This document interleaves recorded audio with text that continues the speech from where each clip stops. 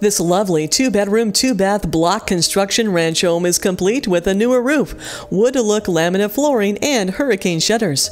You can relax with your morning coffee in the Florida room or head out to enjoy the fully fenced in and rather spacious backyard that has plenty of room to add a pool. This home is within walking distance to Baycare Ballpark where the famous Phillies have their spring training. Find out how you can get the keys to your new home by contacting DD Houston.